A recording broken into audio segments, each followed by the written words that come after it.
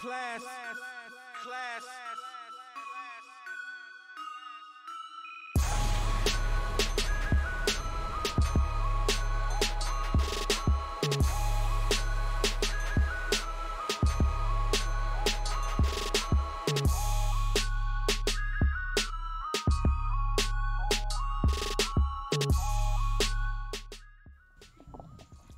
Okay. I appreciate you jumping in and problem. taking this time today. This is going to be a part of my unscripted series, and we're just going to talk. I've already started recording.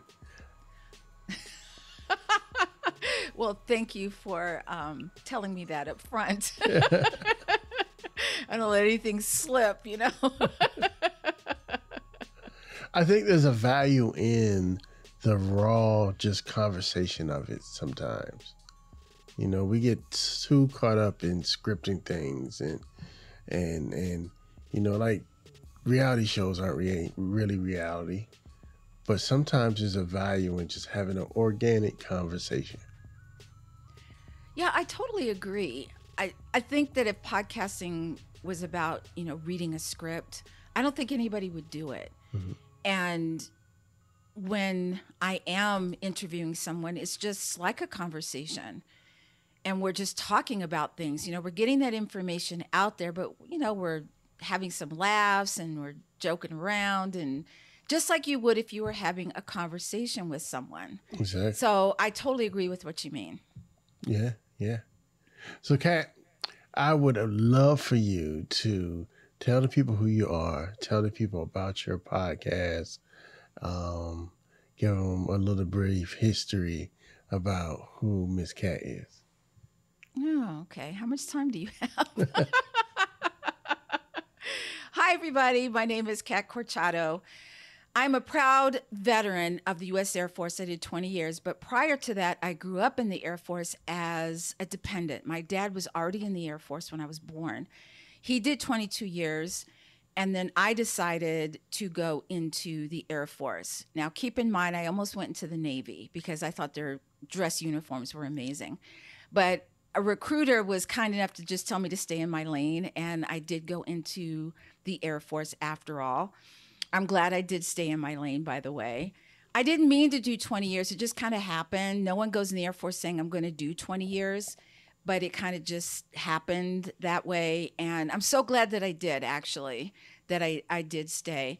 After I left service was really difficult because my transition wasn't anything like I expected it to be. And so I always like to tell people that when you get out of the military, I felt like I was that first round draft pick, you know, mm-hmm. in the in college ball or basketball, football, you know, everyone's clamoring for your your name. They want your they want you on their team. They want to pay you whatever you want. And I walked out those doors, list, you know, looking for the banners and the band and the music, and there was nothing there. There was mm. absolutely nothing there. And I thought, do I have the right day? do I have the right time? what happened here?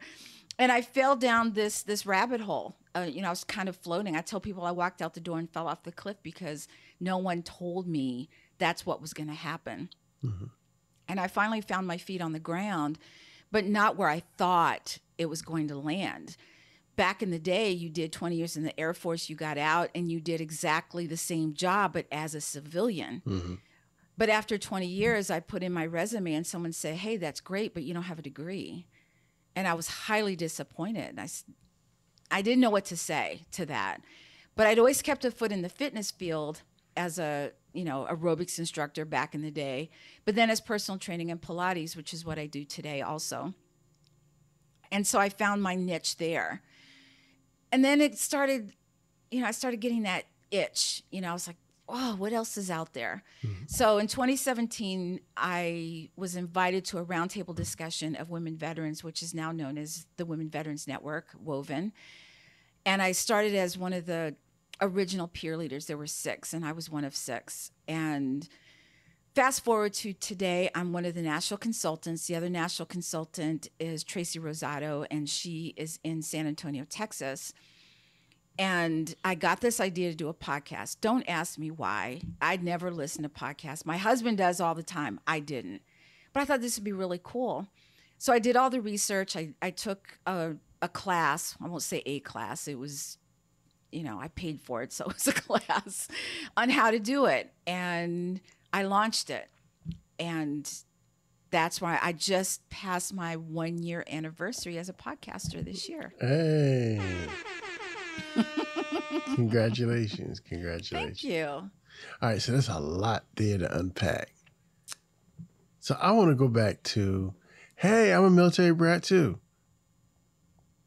My Are you? Yeah, my dad did 22 in the Navy.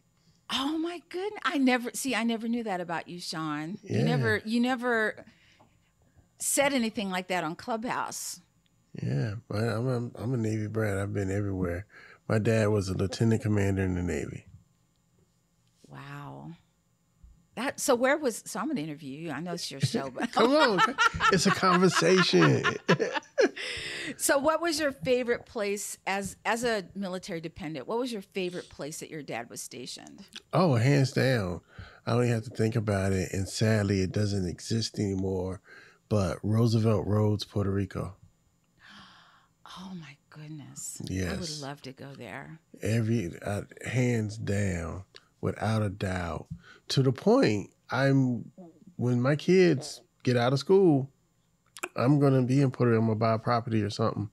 Billy's down there now. I, I know you're familiar with Billy. Billy's down yeah, there now. Billy's there. Yeah, I'm trying to catch him next year. So. What did you love about it as a child? I don't know. Um, maybe because I was a teenager going through puberty in a tropical island, surrounded by beautiful people and exotic Beautiful food. women. Come on, Yeah, beautiful girls. women. I, I- hey, I've always said the whole time I was there, I never saw an ugly woman. So yes. And then the That's fact that sometimes the alcohol rules are a little bit lax there, especially and they make I, I rum. bet they are. Hey. I bet they are. What's there not to like? But for real, they had some of the most welcoming, beautiful people there. Um, I've told the story many times where the first weekend we were there, you know, I was I was feeling some kind of way. I was a teenager going through the whole teenage hormone thing. That that by itself was enough. But now you take me from the neighborhood I grew up with in and you uproot me and take me to somewhere I don't know anybody. I don't speak this language. I don't know if I really want to be here. What's a Puerto Rico? You know. And the first weekend we're there, we're on the beach and we meet a family and they just take us in like we're long lost cousins. And the next thing I know, it's a pig in the ground and we're meeting the, the real cousins. And and from then on, it was on. And I, I just loved the place. And everybody I went to, it didn't matter that I didn't know how to speak Spanish. And and uh, a little known fact, they teach English in their schools. And you know, you can get by with very basic Spanish and very basic English, and you know it's fine. It, it's it's an American territory, so English isn't like far fetched. For Right. yeah, so man. Well, we have a lot in common because my husband is Puerto Rican. Oh really? His family, yeah, his Okay. family, his, his uh, grandfather came to the states. His grandfather was a boxer, actually, Okay. when he came to the United States. But I also, as a teenager, my father made me, kicking and screaming, move to Germany at the age of fourteen. Oh, okay. Yeah, I was not happy. Ramstein? ha- um, no, it's a base. Unfortunately, it's closed now. It's called Bitburg Air Base Okay. in Germany. Um, Spangdahlem Air Base is still open, but I actually went to high school there, 10th, 11th, and 12th grade, and graduated in Germany. Mm-hmm. So, all right, let me ask you this too, as a military brat, because this is a great. I mean, I want to have this conversation with somebody. How did you feel? Did I know a lot of times when we're going through it, we don't understand the magnitude of being able to just be in a temporarily in a whole nother person's culture and environment. Now, as an adult, how do you think those travels affected you? It affected me greatly, but it affected me in a in a good way. Mm-hmm. My dad would make us, me and my brother at the time, would make us go off the base to eat. So if we were in a foreign country, mm-hmm. you know, like say Germany, he would make us go off base and we would eat the food. We would learn how to, you know, deal with the the foreign money, the currency, and we learned how to speak snippets of languages, but enough to be able to get around.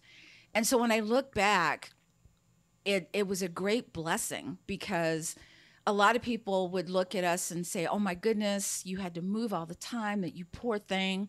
And I'm like, "Are you kidding me? I got to see things that mm-hmm. other kids only get to read about or see on TV. I got to see it in person." So I feel blessed in that way. I think it was it was one of the greatest upbringings ever in that in that format in that frame. Some kids didn't enjoy it, but I loved it. I I loved it, and it wasn't that bad for me too because the first half of my life, my father was stationed on the aircraft carrier, and back in those days, that's back before 9-11, and they had that strict six months on, six months off. So it was just that's what it was. I saw him every six months. He was gone for six months. He was back for six months. He was gone for six months. You know, and you just dealt with it. It That's was just what it was, right? Yeah, it was normal. You were like, And okay, that dad's going to be gone for six months. You're like, okay. right and, and that allowed for us to have a um sort of normal military childhood where we didn't have to move around when we were younger and that didn't happen to later but we still kept the house the home base and we grew up in a community that um you know i grew up in the hampton roads area world's biggest naval base. So it's common to have you know a a friend go away for two years and come back. And you know that's no big deal. We know how to handle that whereas you know in a non-military town that's crazy Well, I have a question for you. So, this is the downside of being a dependent. Mm-hmm. So, my husband, even though I met him when I was in the military, he grew up in a place where, even to this day, he can introduce me to a person he went to third grade with. I can't tell you the school I went to or where I was at as a dependent when I was in third grade. So, how do you feel about that part of it? Do you feel like well so i didn't have that until middle school so i i went through i grew up in a, a neighborhood called camelot wonderful great neighborhood uh, I have an episode if you ever want to learn about my neighborhood. I talked to my childhood friend, Dr. John Lewis, and it describes what it was like to grow up in Camelot. And it's a neighborhood where to this day, I am friends out of maybe the 20 kids in my kindergarten class. I'm friends with five or six of them. Like, can pick That's up my phone and call them right now, friends.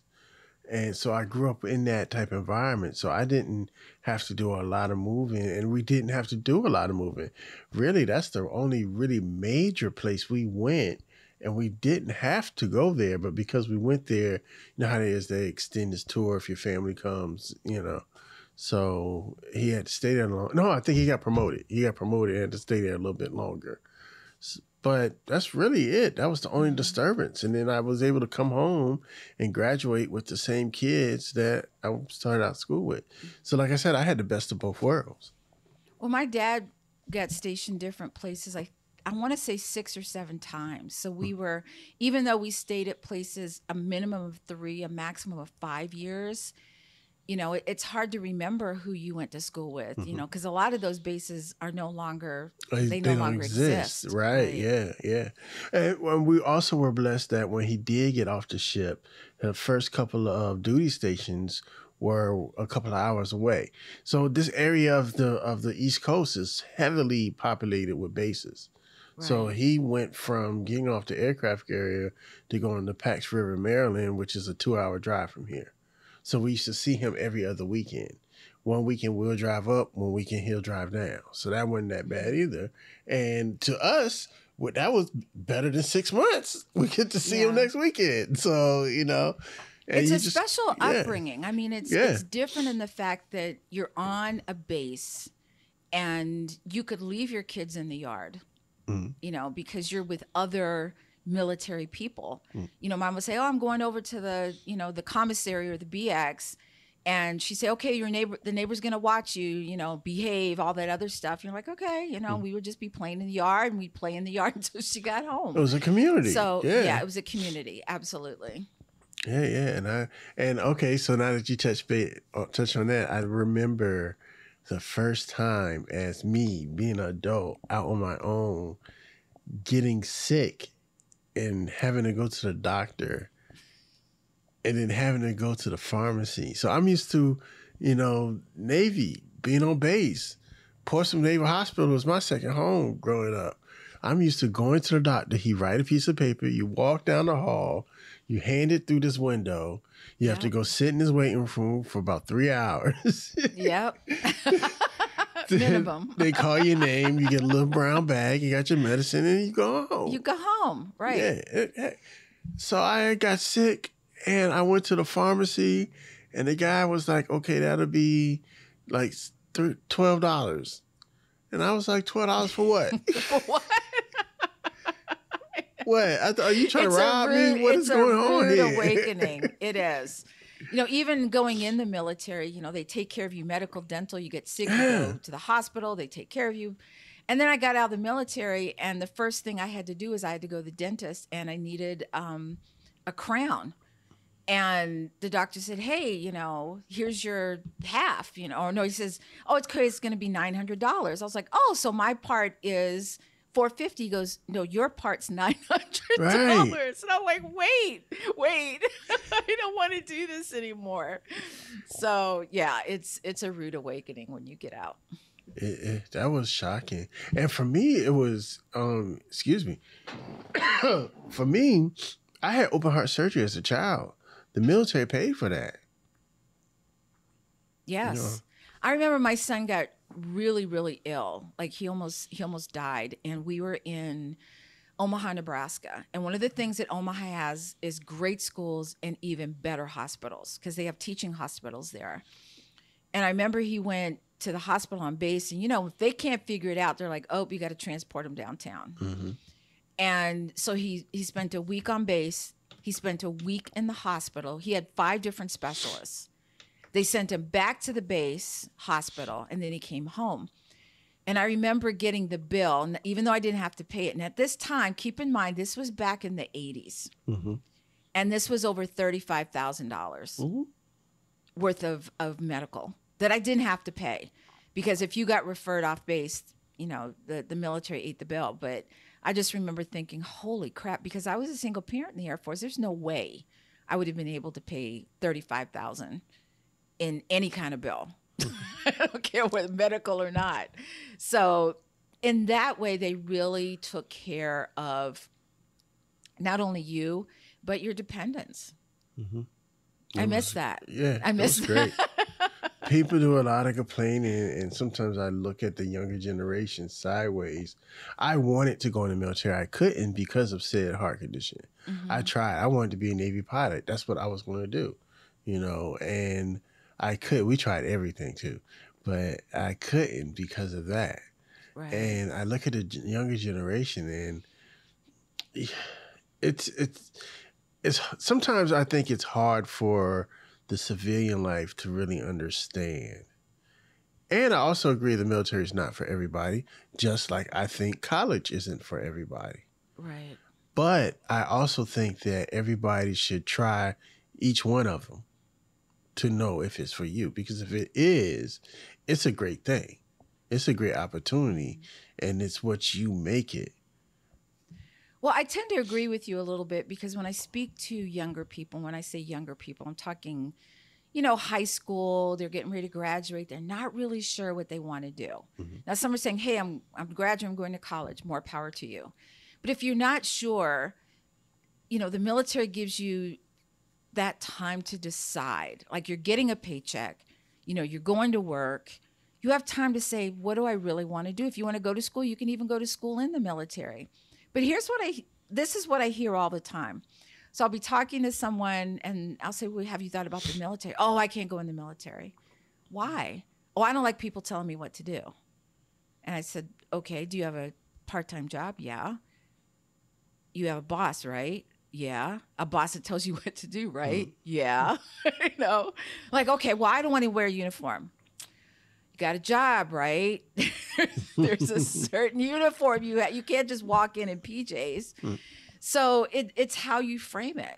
You know, you have to be able to say, all right, the military is going to give me this time to be able to decide what I want to do rather than living with your parents for who knows how long. Mm-hmm.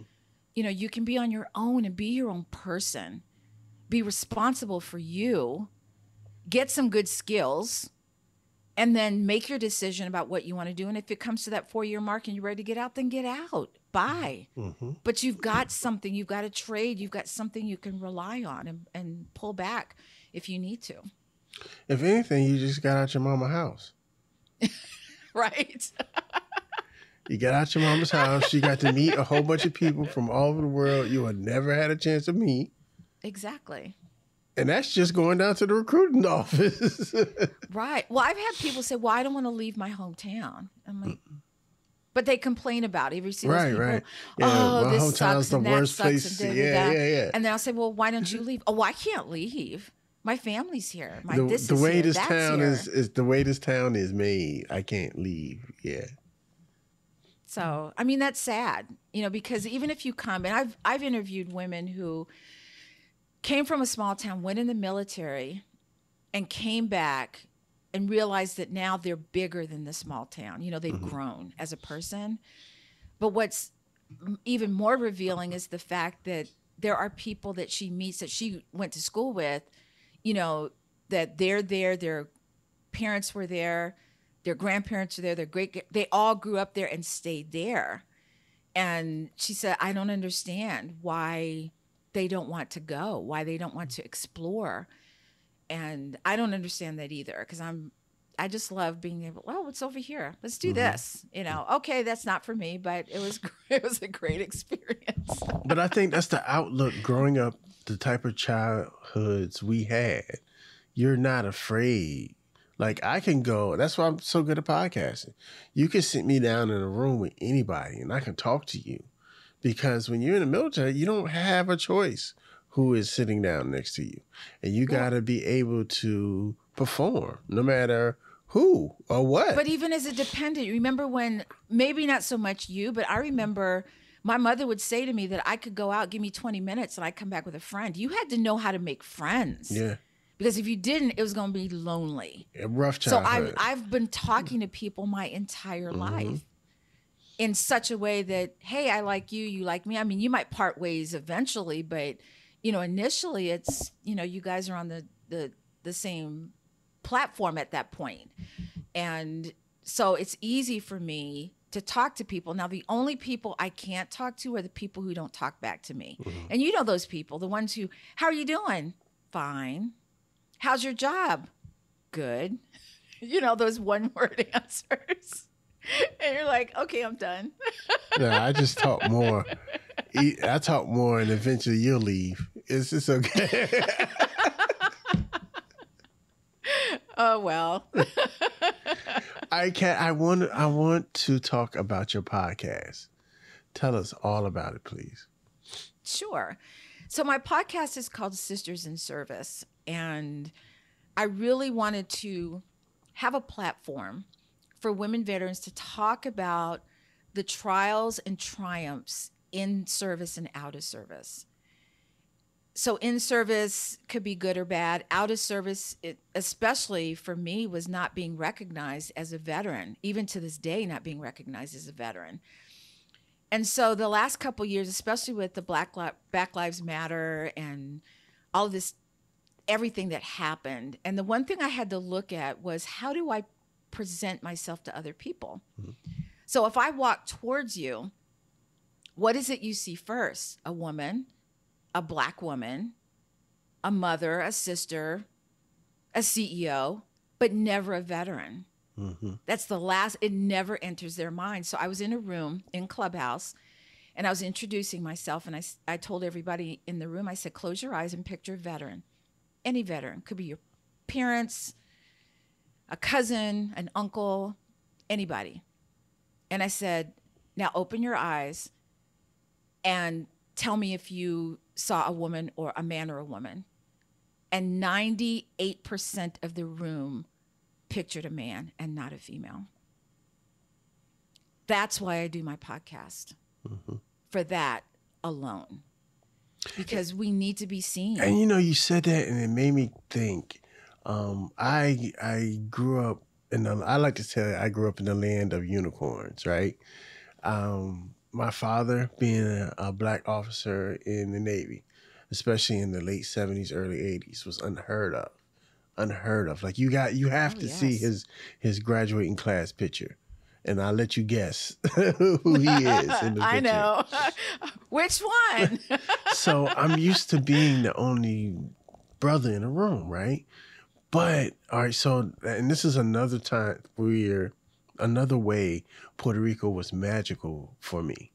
When we were in Puerto Rico, it was a group of black officers that they used to all hang out together. And at the time, I'm a kid. It doesn't, it's not really hitting with me what's going on, right? right. And uh, my father was an RN. So it was a couple other uh, RNs. And all of these RNs were two incredible women, um, Miss Hattie and Miss uh, Gillespie. And they were lieutenant commanders. And I think one of them went on to be a captain, right? And I, that, at that time, to say that you know a black woman officer, let alone two, That's huge. then to come out, do you know who Carl Brashear is? No, but the name sounds familiar. Have you ever seen the movie Men of Service? Men of Honor. Men of Honor. Yes. With yes. the diver. Yes. One of those ladies was the nurse that was his wife in the movie. Wow. I love it. You so know, I they've- never they've saw. been there, and black women have mm. been there, but it's oh, never oh, the been. whole yeah. It's yes. That's what, and, and I totally agree with that. You know, even when I was in the military, to see not only a female officer, which was woo, Mhm. you know, but I and I can tell you with for sure, I did not see a black female officer. Did not in the 20 years that I was in. I did. Now, I'm not saying they didn't exist. But they were That's few and saying. far in between. I'm saying I never got to see one. right. To see a male black officer was huge. You're like, whoa, you know, and it was nice. You know, like, okay, cool. But, you know, to not be recognized as a as a woman veteran is is it's hurtful and it's and it needs to change. And I think the only way it's going to change is because when you watch TV, okay, let me tell you where I'm coming from. So the last uh let's see the last um veterans day okay you're watching tv and you know they're all the newscasts are you know about veterans etc and every la- now maybe i'm wrong okay and i'm talking from north carolina so you know if you're from texas i know they love y'all veteran texas love their veterans but i'm in north carolina and they went to the usual you know the vietnam veteran the male. Mm-hmm. And i love my my my male veterans but where was the female veterans? Where were they? And so i'm i'm putting a challenge out there for anyone who's listening that the we've got you know veterans day coming up and i want i want to see some footage of women veterans. I want to see it. Yeah. it is veterans day right? November 11th yeah I I have kids, and so I don't know Like, what day it oh, is. Oh no, I'm pretty sure. I think this is a Wednesday. That's as far as it goes. right. But yeah, you know, it's and I have friends in Texas like, oh, we're doing this, we got this parade, and we're we're going here and we're celebrating. And I looked up in North Carolina, and we might get a parade, maybe, kind of, sort of, hmm. but that's it. And that really angers me. It makes me it makes me crazy. Because North Carolina supposedly really likes veterans. We're, oh, I'm sorry, they're veteran friendly. Which, if anyone's listening to this, I've been in North Carolina for 12 years. If you could tell me what veteran friendly means, please contact me because I'm I'm trying to figure out what that means. They allow us to live here. They take our money. They're tax. What? I'm just trying to figure it out.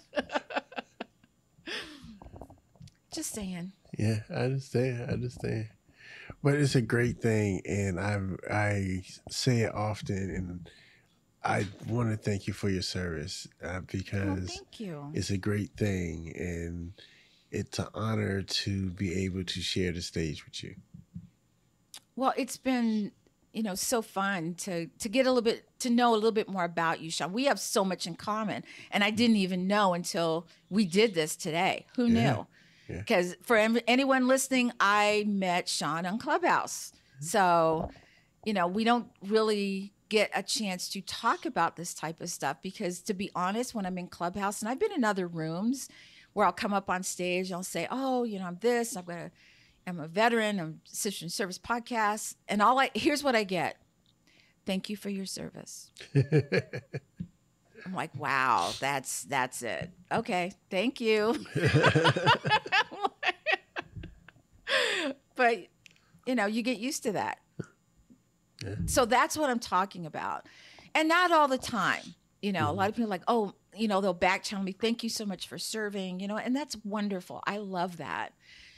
But when you get crickets you know where no one you know no one you know says oh i have someone i, I think you know would be great for your podcast that just tells me that they don't know any veterans.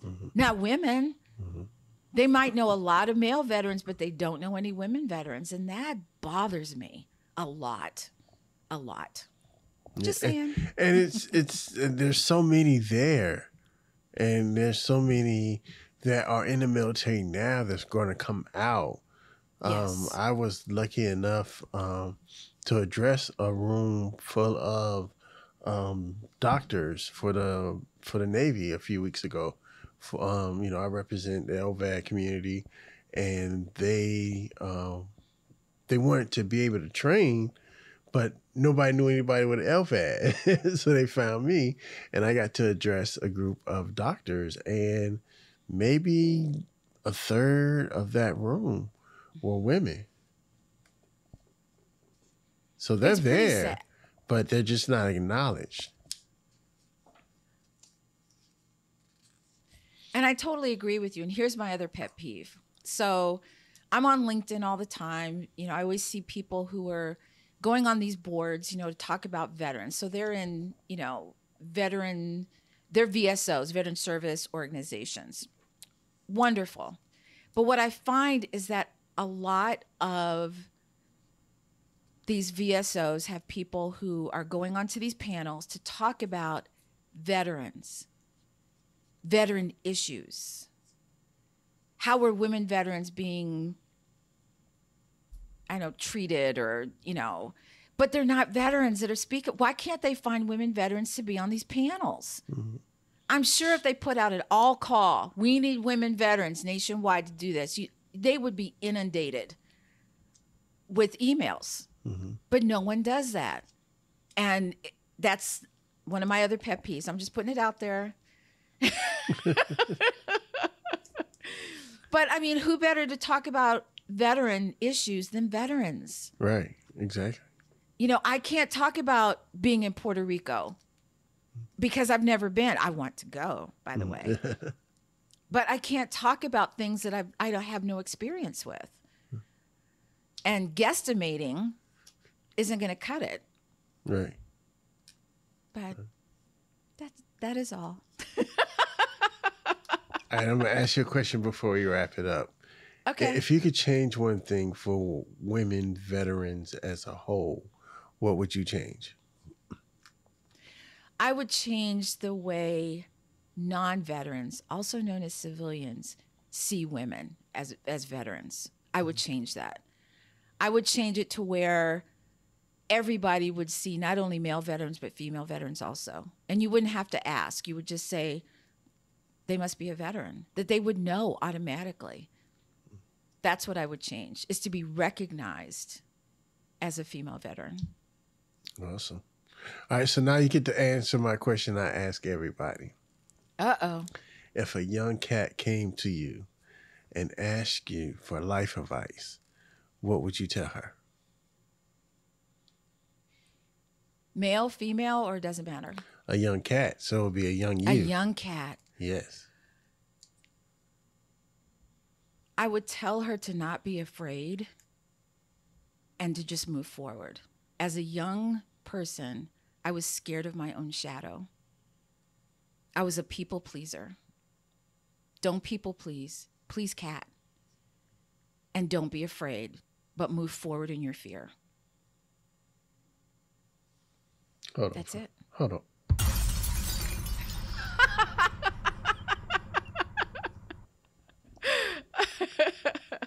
Cat, how can everybody get in touch with you? How can they reach you?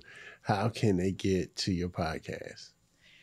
Oh, my podcast is on all the platforms, but it's called Sisters in Service. But you want to put dashes, so sister da- sisters dash in dash service, um, or you can just type in Cat Corchado, and I'll pull be pulled up. Whether it's LinkedIn, Facebook, um, Instagram. Um, I hope that you will take a listen, even if you're not a veteran, but especially if you are a female veteran.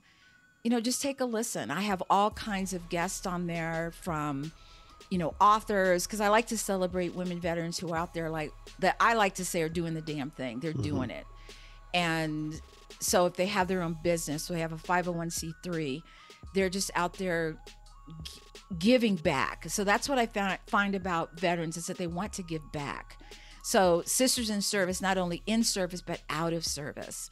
So I hope you guys will take a listen, follow me, and if you have any questions, please feel free to reach out. Awesome. Awesome, Cat. Ladies and gentlemen, that's it. Um, we're wrapping this up. Final days of the C4 challenge from the content creators of color. It's been an incredible ride. Um, I hope you guys learned something. I know I've learned something. Um, check us out on Instagram at creators underscore of color. Un- oh, I'm sorry, creators underscore of underscore color. Um, you can search for us anywhere you get your favorite podcast. And don't forget, you can check me out at 757renaissanceman.com. Cat, I really appreciate this. This is this conversation has been a long time coming. You know that, right?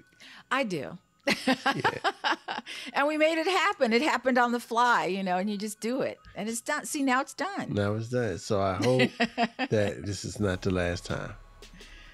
I hope so too. I hope we we get to collaborate on some stuff and we get to work together on some things because I think it would be totally interesting, you know, to to do something together. So thank you so much, Sean. It's been a pleasure. It's been all mine.